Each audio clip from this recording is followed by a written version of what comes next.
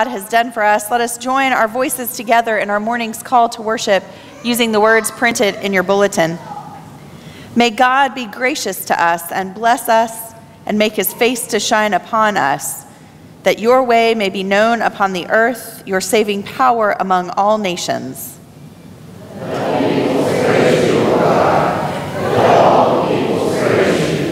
Let the nations be glad and sing for joy, for you judge the peoples with equity and guide the nations upon the earth.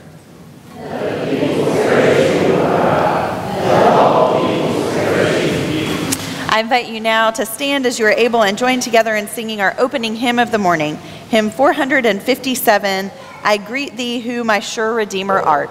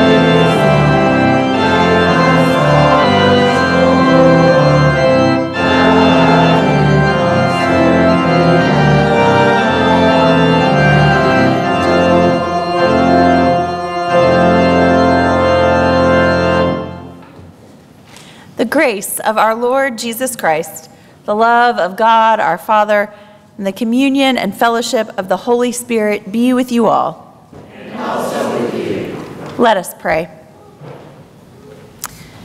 God, our Creator, who made the heavens and the earth, we are your children, and we are in awe of all you have made. Christ, the Son, our Redeemer and Savior, you lived and died for us all you live again and have prepared the way for us. Holy Spirit, the sustainer, you move in us and among us. We follow your wisdom and feel your presence. Holy triune God, help us to know you more fully, and guide us this day in this time of worship. We pray in the name of the one who taught us all to pray, saying, Our Father, who art in heaven, hallowed be thy name.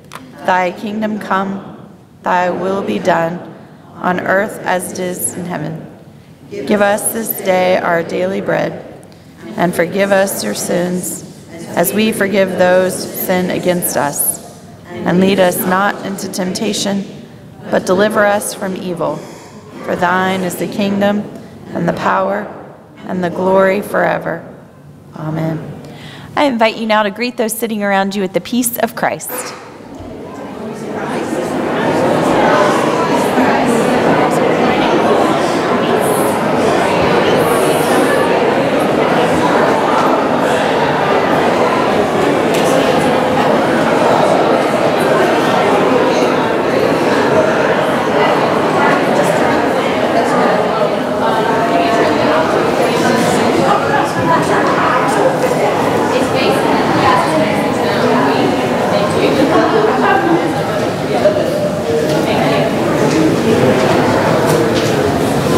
Good morning. Welcome to Buford Presbyterian Church on this, the Lord's Day. I'm so glad that you're here with us today. I know that a number of us are traveling this weekend for uh, various reasons, and of course, we wish traveling mercies on all those who can't be with us today. Uh, but I'm so happy that you are with us as we seek together God's presence in our lives. Hey, Miller, give me five. All right. Peace be with you. Um, announcements, as always, are in the insert in your bulletin. Um, a few things that I want to lift up. One is that today is the last day for a while that we will be worshiping at 11 o'clock, or at 8:30 for that matter. We're moving to one service starting next week. It's at 10 a.m.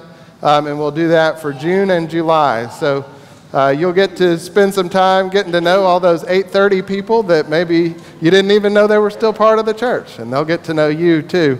Um, but our new summer schedule starts next week, 10 a.m. Um, here. Uh, along with that, a, a, lot of our Sunday school classes, I think all of our Sunday school classes have, are taking off for the summer. Uh, we will get back started on the church year around the second week in August, I believe. And um, so uh, I think it's uh, the church uh, needs to have rhythms of, of work and rest, and um, summer is a good time for us to, to kind of slow down a little bit and, and have a different rhythm to our lives together. VBS is coming up, so summer isn't empty. There's a lot going on. VBS starts next week. Um, we have over 90 kids signed up, so it should be a, a, great group of people coming in. We need adult volunteers. So Carrie was telling me we've got a lot of youth uh, volunteers ready to come, and we have some volunteers from as preschool parents, but we don't have many adult uh, church member volunteers. We've only got about 10. So I want to ask you if you're an adult and you're a member of this church.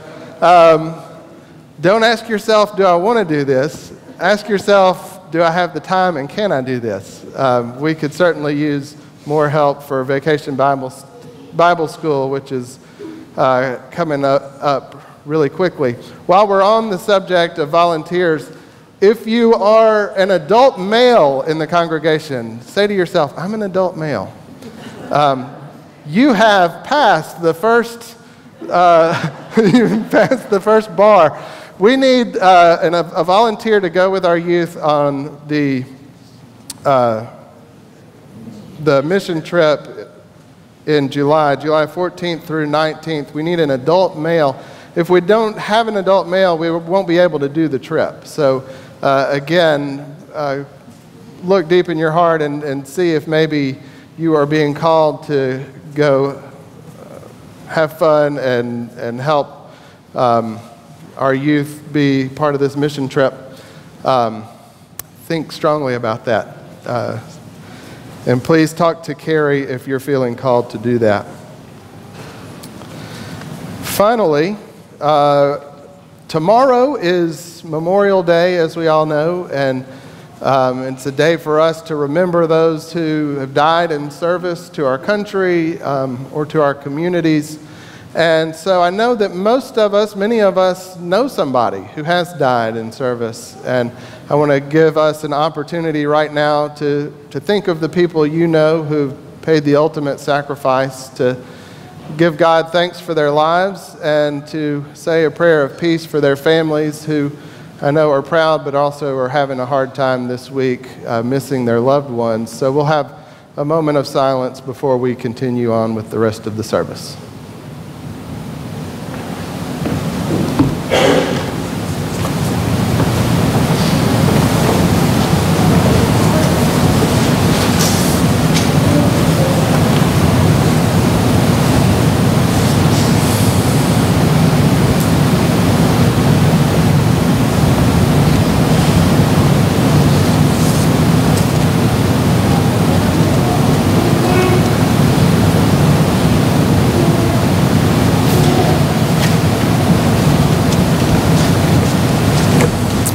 Let us continue to worship God.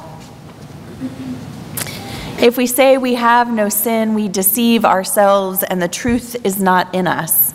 But if we confess our sins, God, who is faithful and just, will forgive our sins and cleanse us from all unrighteousness.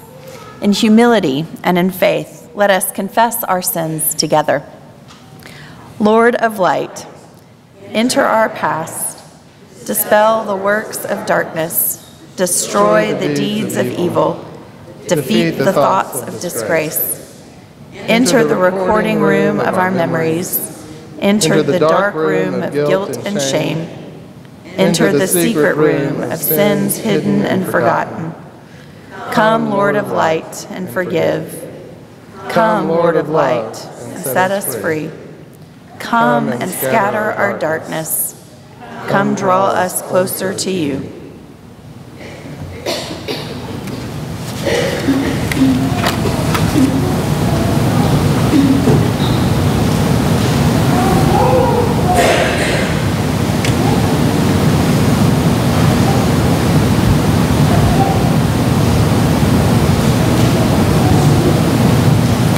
Amen. Hear the good news. Who is in a position to condemn? Only Christ. And Christ died for us, Christ rose for us, Christ reigns in power for us, Christ prays for us. Anyone who is in Christ is a new creation.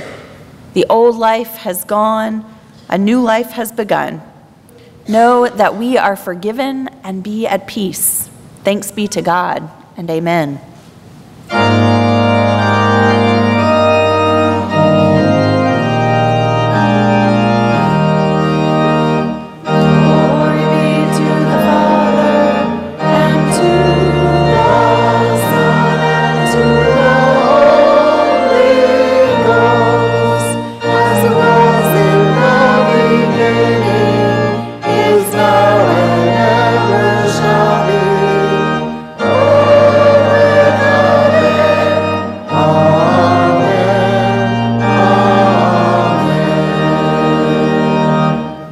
May be seated. At this time, I'd like to invite our children forward for our children's sermon this morning with Sue Dunbar.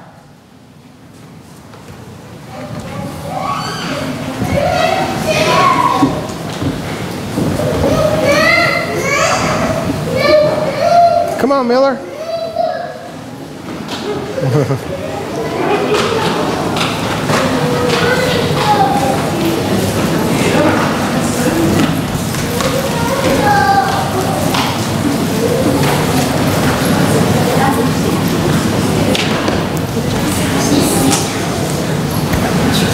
Good morning. Good morning, boys and girls. I hope y'all are doing good today, and I'm so glad to see y'all. This is a beautiful day, and we're here to learn about God. And today I wanted to talk to you a little bit about what Pastor Davis is going to talk about, about the Holy Spirit. Uh, we have in the Bible, uh, in Acts, uh, the Bible telling us about the Holy Spirit and there was this man named Apostle Paul. I don't know if any of you have heard of Apostle Paul, but he was a wonderful, godly, holy man. And he had the Holy Spirit in his heart. And he went around all over preaching in Europe, in Asia, and different places. And what was he preaching about? He was preaching about who do we believe in? Jesus. He was trying to tell everybody about Jesus. And one day, someone said he needed to go to Macedonia, that there was this man that needed him. So the Holy Spirit was leading him to go to Macedonia to see what this man wanted. And as he got there, he found out what he wanted. And then he happened down by the river, and there was a lady with the other people whose name was Lydia. And she was selling purple cloth. And so she wanted to find out about Jesus. Thank you, Noah. Can you listen there? You sit down right there. So anyway, he was he he found out that Lydia wanted to know more about Jesus and more about God. You know what? She felt like that in her heart she could not be as Christian as she wanted to be, or she felt like something was miss- missing. And she, even though she was uh, having the Holy Spirit, she still kind of felt like that she was missing something and wasn't being able to hear what God was telling her. You know what she did? She was baptized by Paul. And we have Pastor Davis and Pastor Carey that baptizes us. And when we are baptized, then we are filled with the Holy Spirit and we repent of our sins and we want to do what's right. We want to do what God wants us to do. You know, it's hard for us to always do what God wants us to do. Uh, as children, as teachers, as adults, it's just hard to follow. But when we are thinking about God, when we're thinking about the Holy Spirit, then we're asking God to please have the Holy Spirit come into our lives and help us try to do the right thing. So, this is what Lydia did and her friends, and from that, other people repented and they believed. And I think maybe a church was started at that time because of that. So we're very grateful for the Apostle Paul. We're grateful for Lydia. We're grateful for other people who have been in, had things that happened in the past that helps us with what we're doing in the church today. We are baptized now because of what happened years and years and years ago through the life of Jesus and after Jesus died and was on the cross and then went to heaven. So if there's anything that you can remember, please remember that we can always ask Jesus and God to help us in our lives, especially when we come across things that are hard for us to do, or we don't quite know what to do, or we need an answer. Who do we go to? We go to Jesus. That's right. Can we have a word of prayer? Our gracious Heavenly Father, we know it's not always easy to come to you, but help us to know that you're always there, wanting to be with us, wanting to guide us, wanting to uh, help us to do the right thing. Help these boys and girls to always know that, and help us to always look to you for everything that we do. In Jesus' name and for his sake. Amen. Thank you. Have a good week things.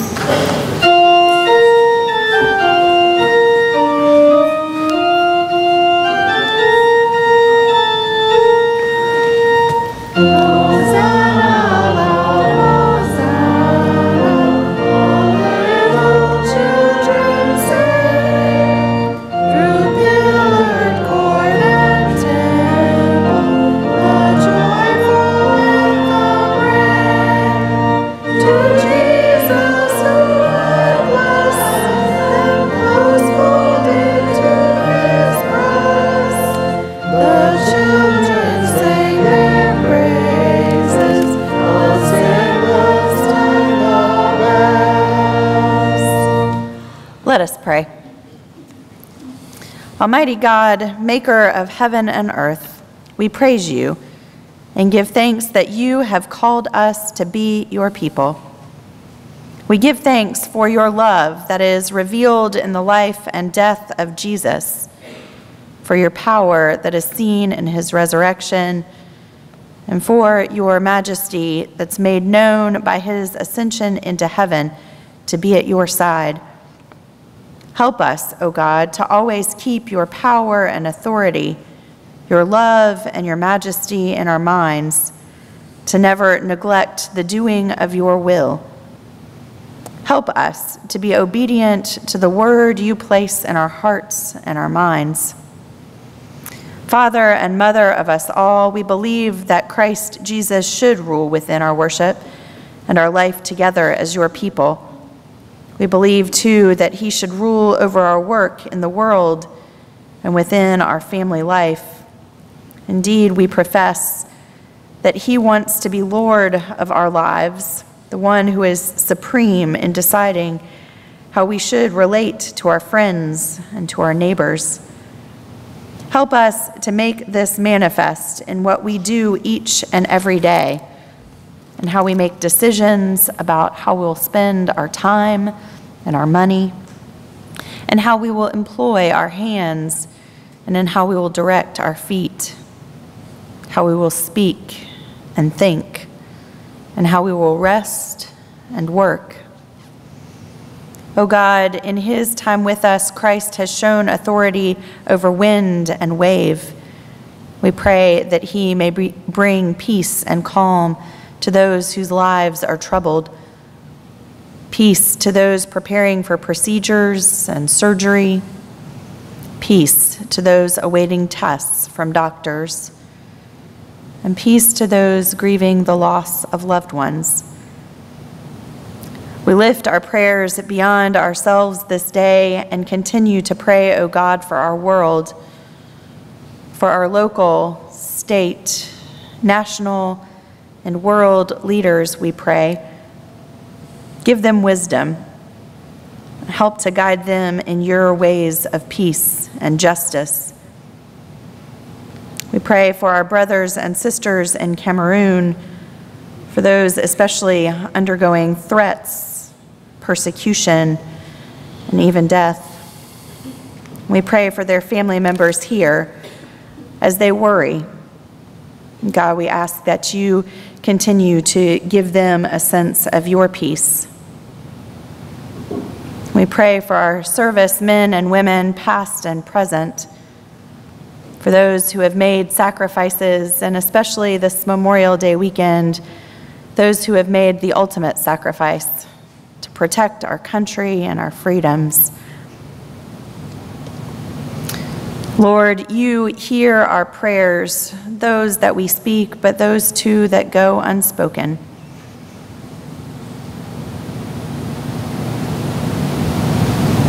We thank you that you hear our prayers. We ask all these things in the name of your Son, Christ Jesus who lives and reigns with you and the Holy Spirit, now and forevermore. Amen. Our first scripture reading this morning comes from the Gospel of John, chapter 14, verses 23 to 29. I invite you to listen now for God's word speaking to us this day. Jesus answered him, Those who love me will keep my word and my Father will love them, and we will come to them and make our home with them.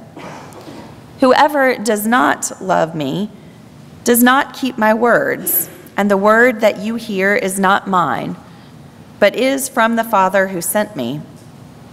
I have said these things to you while I am still with you, but the advocate, the Holy Spirit, whom the Father will send in my name, will teach you everything and remind you of all I have said to you.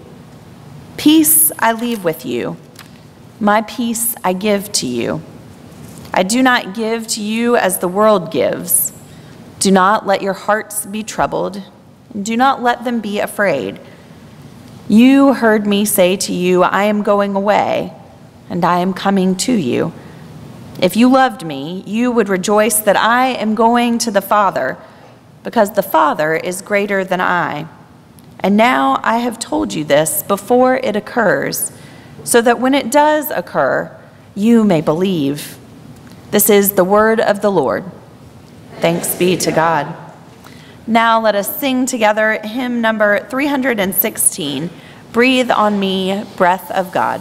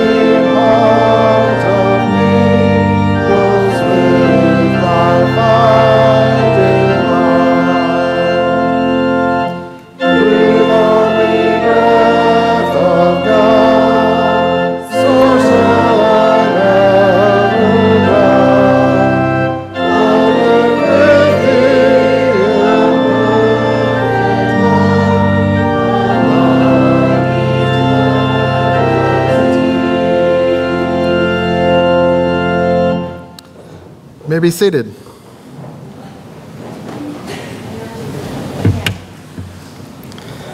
Our second scripture reading comes from the book of Acts, chapter 16, verses 6 through 15. Give me just a second.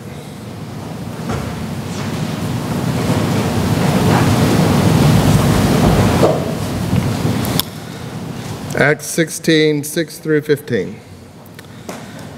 They went through the region of Phrygia and Galatia, having been forbidden by the Holy Spirit to speak the word in Asia. When they had come opposite Mysia, they attempted to go into Bithynia, but the Spirit of Jesus did not allow them. So, passing by Mysia, they went down to Troas. During the night, Paul had a vision. There stood a man of Macedonia pleading with him and saying, Come over to Macedonia and help us. When he had seen the vision, we immediately tried to cross over to Macedonia, being convinced that God had called us to proclaim the good news to them. We set sail from Troas and took a straight course to Samothrace, the following day to Neapolis, and from there to Philippi which is a leading city in the district of Macedonia and a Roman colony. We remained in this city for some days. On the Sabbath, we went outside the gate by the river. We supposed there was a place of prayer. And we sat down and spoke to the women who had gathered there. A certain woman named Lydia, a worshiper of God, was listening to us. She was from the city of Thyatira and a dealer in purple cloth. The Lord opened her heart to listen eagerly to what was said by Paul. When she and her household were baptized, she urged us, saying, If you have judged me to be faithful to the Lord, come and stay at my home. And she prevailed upon us. This is the word of the Lord. Thanks be to God. How in the world do any of us know what to do? I mean, a lot of stuff that we already do is sort of obvious. If you have a job, you wake up at a reasonable time in the morning, you go to work, maybe drop the kids off at school. Depending on what your job is, you do a certain kind of work and make decisions based on your training and experience. Go home, eat supper, go to bed. That's pretty easy. But how do you decide what to do when things aren't laid out like that? When an ethical dilemma arises at school or at work and your training doesn't provide a simple answer? What if you don't have a job? How do you decide what to do with your time? You could volunteer at a soup kitchen. You could rob a bank. How do you decide what to do with your time? When do you do this or that and why? Most of the time, you don't have to think about the answers to these questions. You just play out the patterns that you've already established. But then there are moments when you're challenged to decide what is right for you and what is wrong. Or maybe you know what's right, but then there's the other question when is the right time? Take, for example, our hero, Paul. Most of Acts is the story of how the Apostle Paul spread the gospel of Jesus all over the Roman world. Paul's letters corroborate his missionary zeal because they indicate that Paul has built relationships all over the Mediterranean countryside. Paul is a leader in the early church, and not just any leader, but arguably the most important figure in early Christianity, aside from Jesus himself. And this is kind of odd because Paul never met Jesus. There are all these people who lived and walked with Jesus every day for years, but it's Paul who takes on the greatest missionary and leadership role. It doesn't make sense. It should be Peter or Mary Magdalene or someone who walked with Jesus writing letters to the churches all over the Roman Empire. So, what are Paul's qualifications? Well, he is a trained rhetorician who knows how to craft a letter or speech for ultimate effect. Peter and the other fishermen turned apostles probably did not. He was a devoted Pharisee he knows the Bible backward and forward and all the details of how to be orthodox. He knows how to speak in the synagogue and how to use the scriptures to witness to the life, death, and resurrection of Jesus. These are all important elements of what makes Paul the perfect evangelist. But the thing that actually makes Paul, I think, the most successful in ministry, the thing that makes Paul such a great leader of the early church is actually his ability to follow. More specifically, his ability to look and listen for the leading of the Holy Spirit, and then the boldness to actually follow that leading. Our scripture reading this morning is a perfect example. It opens on the Holy Spirit telling Paul where not to go Having been forbidden by the Holy Spirit to speak the word in Asia, it says, they attempted to go into Bithynia, but the Spirit of Jesus did not allow them to do that either. So we hear right off about the Holy Spirit denying Paul and his entourage to go in certain directions. And even though this part of the story gets passed over without much focus, it is very important. The ability to hear and follow when the Holy Spirit shows us what not to do or where not to go. It's crucial. As elementary as this sounds, you can kind of think of the Holy Spirit as that angel on your shoulder, the kind that in those cartoons argues with the little devil on the other shoulder. The Holy Spirit is God's movement in the world. The Holy Spirit whispers yeses and nos to our soul. Sometimes it's clearer than others. In this case, the Spirit is telling Paul, no, your ministry isn't meant to come this way to Asia and Bithynia. That isn't to say the church won't make it there or isn't needed there. It's just to say that the Holy Spirit doesn't intend these places for Paul yet. It can be hard for us to know where not to go, what not to do.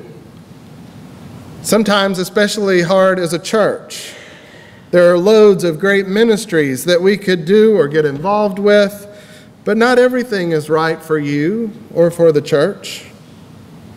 A lot of churches these days are learning to listen to the Holy Spirit about old ministries that used to be right, but then we've outgrown or maybe undergrown them.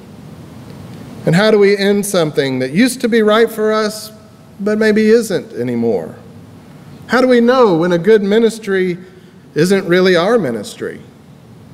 Listening to the Holy Spirit for where not to go is a vital skill so much energy can be lost on good natured work in the wrong direction. But I don't want to dwell anymore on the Holy Spirit's no, because Paul finally gets a yes. He has a vision of a man from Macedonia who pleads with Paul to come help him. Paul judges that this is the leading of the Holy Spirit, and he decides to heed his vision, and the gang all sail to Philippi in Macedonia. You heard the rest of the story. In Philippi, Paul and his team set up next to the river. Lydia hears the word, follows the leading of the Holy Spirit in her own life, and becomes the first convert of a true Roman city. Her household is baptized, and we can assume that the Philippian church begins in her home. Since Lydia is a dealer in purple cloth, she probably has the finances to help support the fledgling church in Philippi. All this because Paul followed, because Paul was in the right place at the right time, saying the right things. And then Lydia takes the baton from Paul because she knows how to follow the Holy Spirit too both leaders who know how to follow the leader. I want you to see in this story a ministry that knows how to listen to and follow the Holy Spirit. It's the difference between a church that spins its wheels doing things that nobody really feels called or energy to do, and a church that engages in vital ministry in the community and in the world. But there is a crucial element in here that's easy to miss if we aren't paying attention. Remember when Paul had a vision? He had a vision of a man asking for help. The vision of this man is why Paul goes to Macedonia. What he finds is a woman who becomes willing and able to offer Paul help. This, in my mind, is the key to the story and is part of God's great joke to the faithful. That is, that when you are following the Holy Spirit, things won't necessarily turn out the way you expected. We see this time and again in the person of Jesus that the Messiah isn't what you expect, that salvation isn't what you think it's going to be, that death isn't as strong as we always thought it was. Macedonia isn't what Paul was expecting, I think, when he went looking for the man in his vision. But in that moment, Lydia becomes the mission, and Paul's ministry doesn't miss a beat. What does this look like in our lives? What plans are we working on? How do you listen for those things that may not be on the bullet list of the plan, but might be what God is calling us to pay attention to? These are the questions that Paul and Lydia confront us with this morning. Where is God trying to do something that maybe we didn't expect in our lives? Maybe something that we didn't even imagine. These are, of course, the same questions that we as a church have to ask too. This church might be headed towards something that it has never been before. Like I told the graduates last week, we don't have to know what that is to start moving forward. We do have to faithfully trust the Holy Spirit is guiding us, though. There is a reason that Buford Presbyterian Church is here. And if we can catch the wind of the Holy Spirit in our sails, If the members of this church are people who seek to follow the nudges and visions and calls of the Holy Spirit, then our story will be part of the story of God's kingdom coming into the world. And that will be such good news. In the name of the Father, Son, and the Holy Spirit, amen.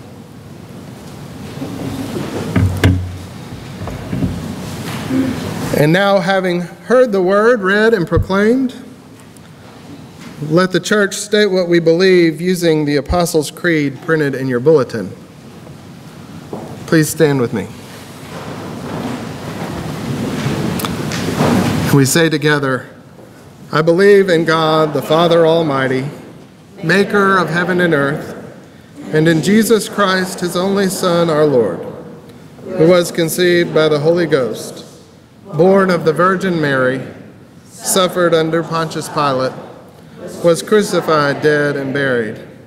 He descended into hell. The third day he rose again from the dead. He ascended into heaven and sitteth on the right hand of God the Father Almighty. From thence he shall come to judge the quick and the dead. I believe in the Holy Ghost, the holy Catholic Church, the communion of saints the forgiveness of sins, the resurrection of the body, and the life everlasting. Amen. You may be seated.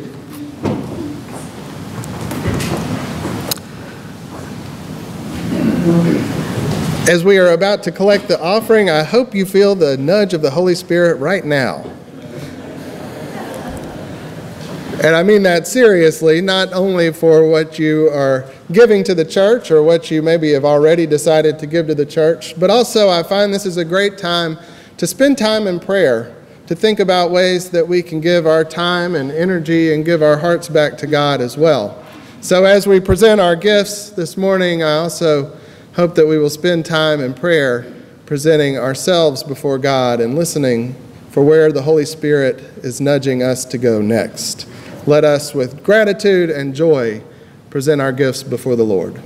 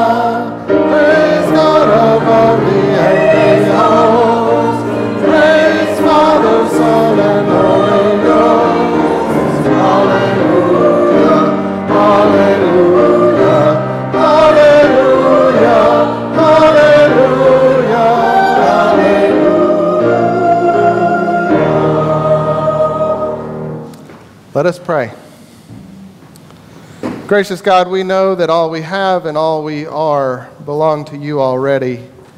It is with faith like children who borrow money from their parents to buy them a gift that we give these gifts of money and the gift of ourselves back to you. We give with joy and thanksgiving. And in Jesus' name we pray. Amen.